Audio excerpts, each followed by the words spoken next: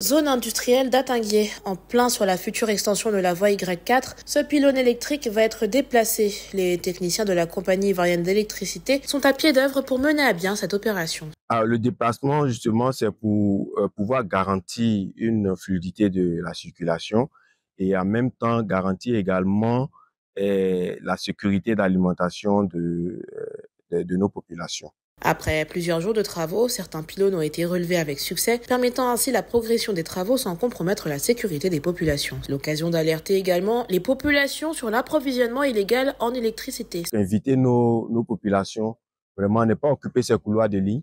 Comme on dit, dans le cas de la Y4, on a entrepris des déplacements justement pour pouvoir garantir toujours cette sécurité-là. Le chantier avance ainsi à bon rythme avec l'espoir que cette nouvelle voie dynamise davantage le développement du district autonome d'Abidjan.